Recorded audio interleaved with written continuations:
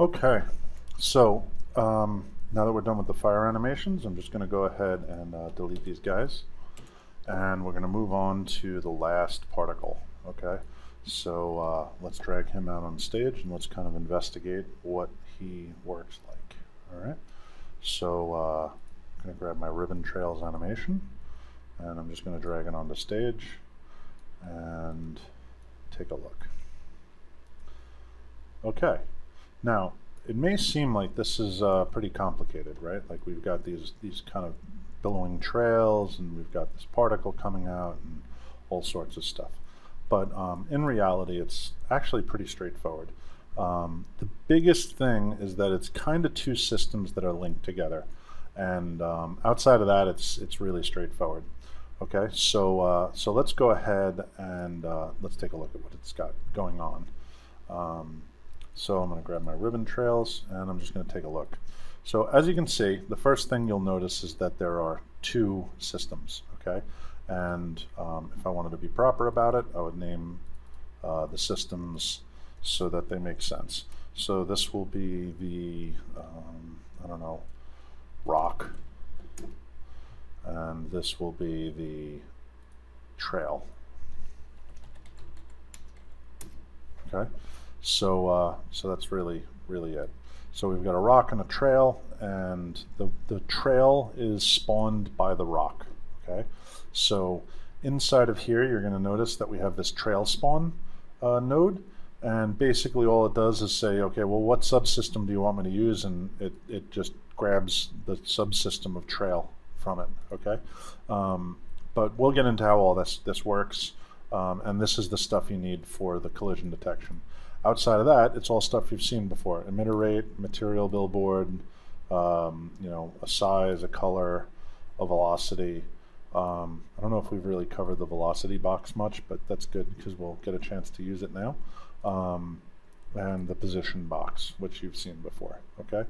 And then the trail is nothing you've not seen before either. Um, so we've got an emitter rate, we've got a material billboard, we've got a size, we've got a color, a little bit of random rotation, and uh, a distance fade, um, which you don't even need. You can actually just remove that. It doesn't actually benefit it much um, at all. It basically just makes it so that as it gets really far away, it, it fades out.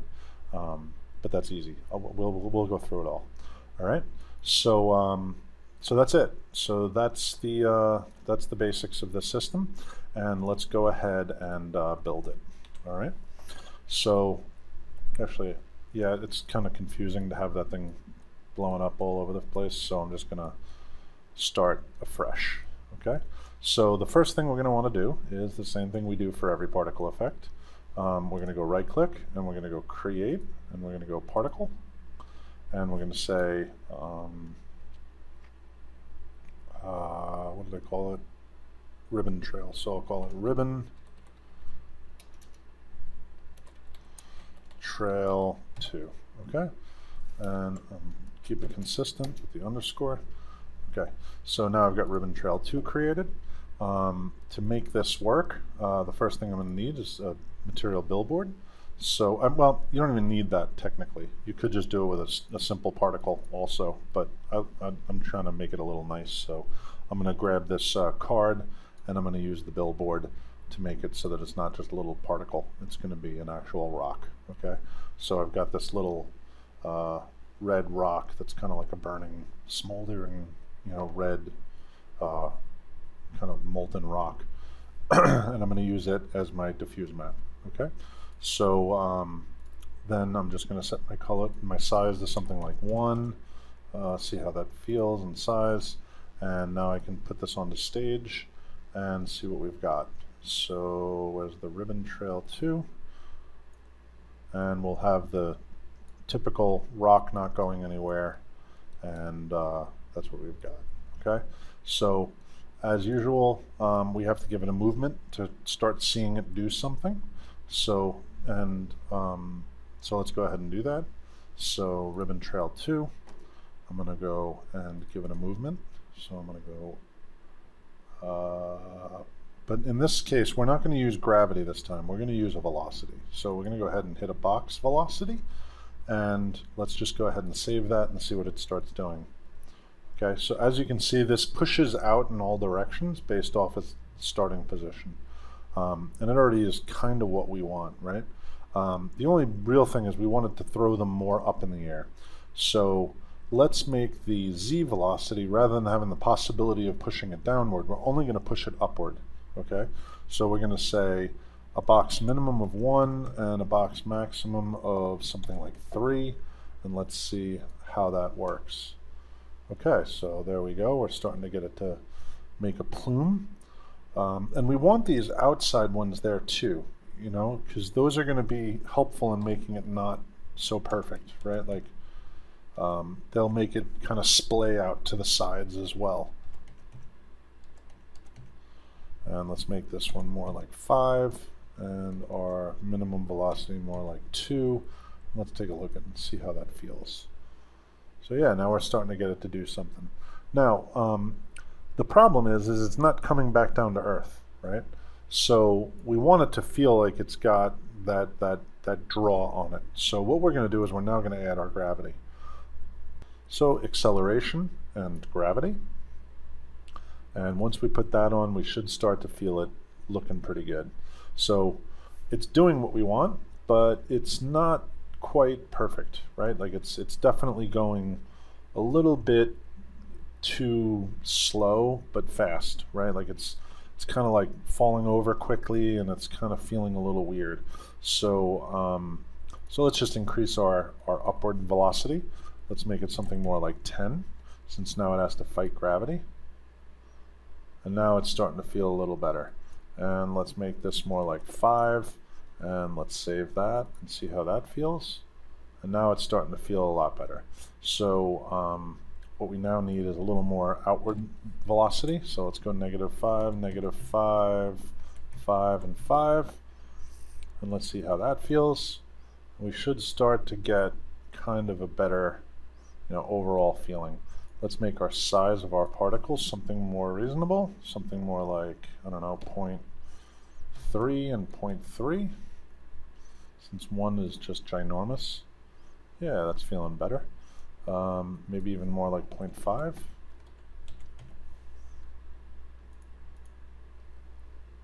Okay, that's good. So I think what I'm going to do is I'm going to go with a range of 0.3 to 0.5 just to give it some variation. And it's starting to feel pretty good.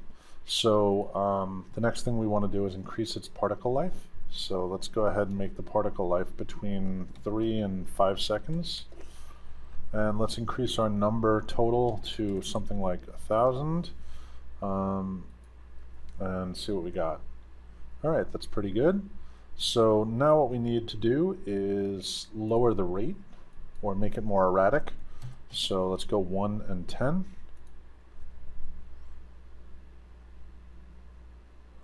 And that's starting to feel pretty good. I think we could probably go something more like 1 and 5. and that's going to feel a little better. Yeah, I'm starting to like this already. It's starting to feel good. Okay, so um, so that's going to be basically it. Um, maybe like these feel nice and lofty. Um, what I did on those is I just actually reduced the amount of gravity. I didn't make them quite realistic. So I made them more like negative 5 gravity. So you can play with that um, that's going to make it feel more lofty, right? Um, and then you can actually lower your your speed down uh, to something more like you know between five and let's say seven or six or four and six and you can lower these down to something more like three three three and three and you should start to get that slower kind of more lofty feeling uh, velocity out of it. That's pretty good. I kind of like that. That's starting to feel good.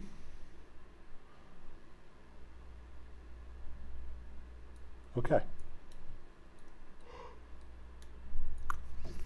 So now that we have pretty much all that working, um, we can start playing with the physics. So let's go ahead and go right click and let's go into um,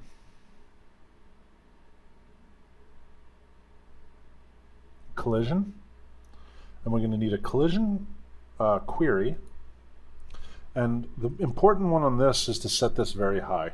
So this is how many queries it's going to do every frame. So if between one frame and another frame it passes through the floor, it literally won't calculate it as a collision. So I usually set this to something more like 100. Um, now, again, this is very costly, so you have to be careful with how high you set that. Um, it's just something to keep in mind uh, that if you really ramp this up, you, you'll get more accuracy, but you will cost performance. So for something like this, it's not going to matter so much. Um, but in a game where you're really, you know, every every frame tick matters, you know, you might want to be a little more cautious with this number. Um, but for now, while you're learning, just you know, set it to a thousand. It doesn't matter, right? Um, so just as long as you're getting that that that number high, and if your your collisions aren't happening, that's what you need to check is this number right here. So once we have the query, we can go ahead and go collision result. Okay? And the result is now going to make it start to interact with the world. Once you have both of those parts in there, you'll see that the physics start to work. Okay? Um, and what you can do here is you can kind of mess with things like your collision and restitution. Um, and that's, uh, you know, that's up to you. These are just variables. So friction will obviously make it, you know, slow down more. And the restitution, I believe, is how much it'll bounce. So if it's got a high restitution, it's going to bounce much greater. If it's got a low restitution, it will bounce much less. So if we were to set this to zero, it basically won't bounce. It'll just, uh, you know, hit the floor and stop.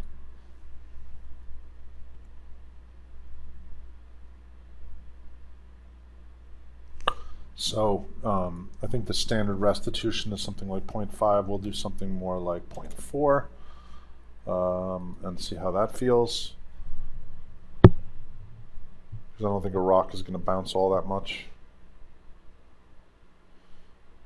Our friction is way too high though. That's why they're not moving, right? So let's set our friction to something like 0.2. And you know, default values are usually pretty good, I find. Um, again, it's very dependent on what you're doing with it. Uh, but yeah, you've got those controls to work with. All right, and you can actually even rotate them so that when they hit, they bounce and rotate.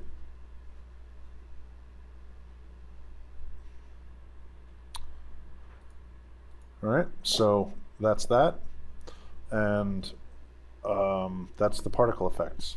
Okay, for the uh, I'm sorry, that is the emitter, right? So that's our, our first part of our particle effect.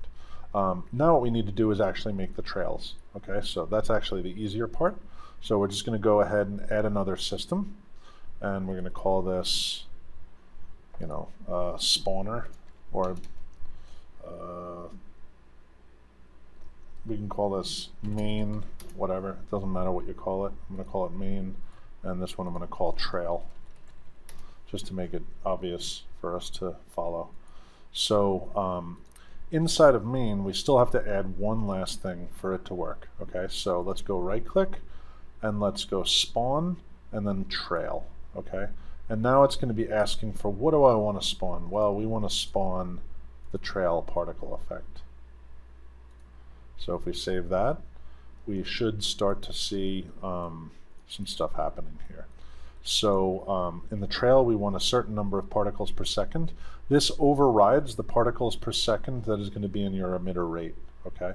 In fact, we may not even need an emitter rate. I think we can actually get rid of that. Um, so particles per second, let's go ahead and make it something like 10. And as soon as we do this, we should start to see particles being born. Okay, good. So now we're seeing our particles being born, um, but they're not really doing what we want them to do. So what we want to do is give them a little bit of uh, inherited velocity. So if we do it as 1, it's probably going to be too much. Yeah, see how they're just way too inherited velocity. So let's go ahead and lower that to something like 0.5. And let's go ahead and hit save. And now we should start to see what we want. Okay. Um, now, the other problem that we're having is that we're running out of um, we're running out of particles. So in the trail, we want to set this total to something ridiculous like 10,000 to start, okay? Just so that we know we never run out um, as we're, we're trying to test here and figure this stuff out, okay? So as you can see, we're now seeing trails behind each of the particles. Um, and what I think we want to do is actually on that on that emitter uh, trail spawn, we actually don't want much velocity to be inherited at all. So let's go ahead and try point. Yeah, that's going to feel a lot better. Okay, so much less inherited velocity. Um, I have it at 0.1. In fact, a 0 might even be better. Let's try that next. Um, the nice thing about the inherited velocity is that it does kind of move with it. Um, but that said, this might be good enough. Um, let's put it at 0.1. 0.1 looked good to me. All right, so at 0.1 we're starting to get that nice feel. And we're kind of getting there. Okay, so now we're just going to go ahead and put a billboard on this. So let's go ahead and grab that, uh, that smoke texture and save it.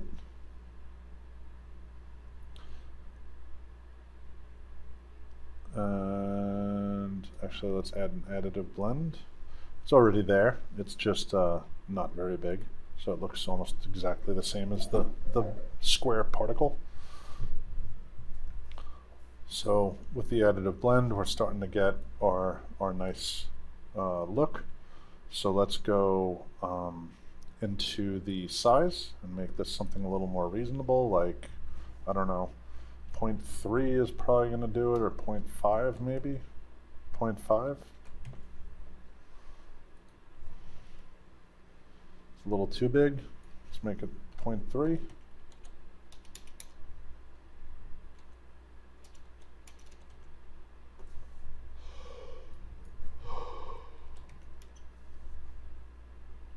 Let's save that and see how it looks.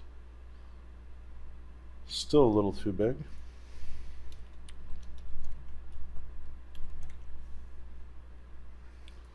So 0.2 is probably going to do it. Yep, 0.2 is looking perfect. Um, so the, the problem is we're not getting enough spawns. So let's get a lot more spawns out of this. We're, we're spawning 10 particles per second right now. Let's make it something more like 100. And save that. And now we're really getting it to look good. Okay, good. So that's what we kind of want. Um, now, the next problem that we're having is um, what's our next problem here? Our next problem is that it's not really blending right. So let's take a look at the material billboard. I've got the additive blend on. Let's turn on the 1-bit alpha and turn it off again. Not sure why it's so bright.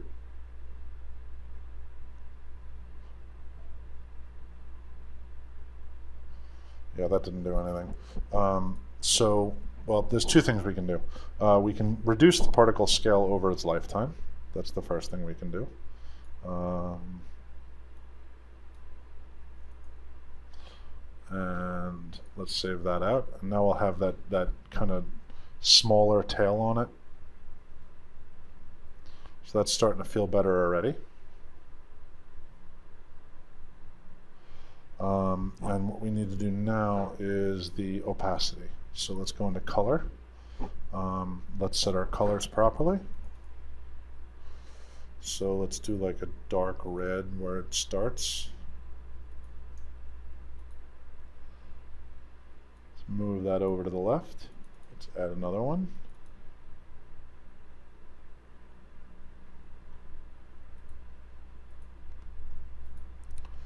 Make this like that bright whitish yellow again.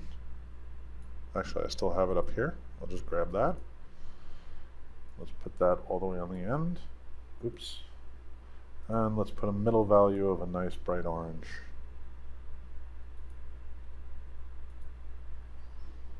Save that. And we're starting to get somewhere. Okay, great. So uh, the last thing is I just think that the, uh, the opacity is just a little bit too heavy. So let's go into our color and let's um, let's kind of mess with the opacity a bit. So I'm going to lower that down in the start so that it's never fully opaque. And I'm going to lower this, uh, this, this end of its lifetime opacity, you know, way down. And now we should start to feel pretty good. Yep. So that's pretty much it. Um, that pretty much does what we wanted to do.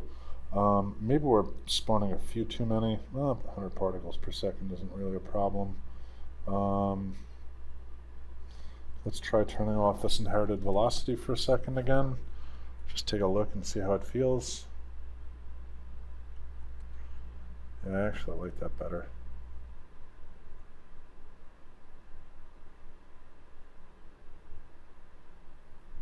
Okay. All right, so that pretty much uh, sums it up. Um, that should teach you everything you need to know. Now you could even add more, um, you know, particles to this system. If you wanted to add like a smoke trail too, you could do add system, and you can do another add uh, spawn trail, and we can call this one system three, and we can put you know, smoke on here too. So let's grab our smoke. And in here we can you know, make this total again something like 10,000. And we should start to see particles being born here soon. Oops. So material billboard. Um, it's probably just too small, so let's change our size to something more like 0.3, 0.3. Give that a test. Oh, it's not moving along with it yet. So why is it not moving along with it? Oh, because we're not actually spawning any. So um, let's go ahead and make our particles per second something like 100.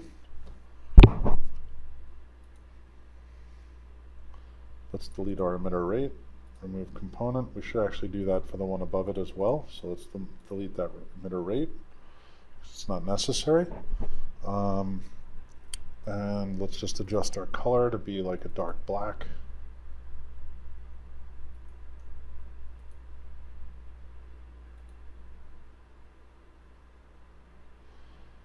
And the opacity we're going to set way down on this guy.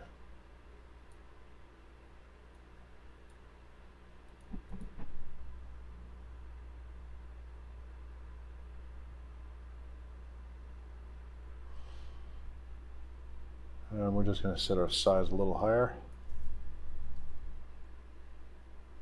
And we'll add some variance. We'll add some variance to this. 0.5.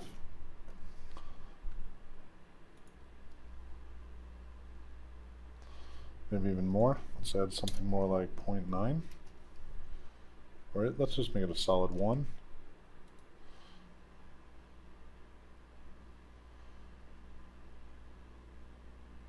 That's definitely too much. 0 0.8, 0.7 is probably going to be perfect. Yep, that's pretty good. Um, color's good.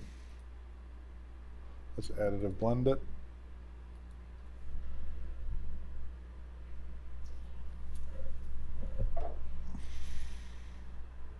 Hmm. Don't know that that actually benefited anything might have actually made it worse. Let's get rid of the additive blend. It's definitely spawning too many, so let's go ahead and say um, on the emitter, we're going to spawn just a few less. Let's make it more like, I don't know, uh, nine, let's make it 50.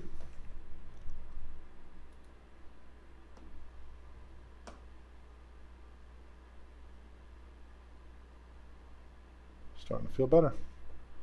All right, so that's the basics. Um, and of course, you can tweak this till the cows come home and uh, make it really, really nice. Um, I didn't even add this secondary trail. Uh, I was just kind of showing you that you can. So you can do you know additional layering effects of uh, trails as well. All right. So uh, before I make this video just way too long, I'm going to call it quits and say um, ta-ta for now. And I'll see you guys next time. Uh, hopefully you enjoyed this video. If you did, please like it um, and uh, let me know.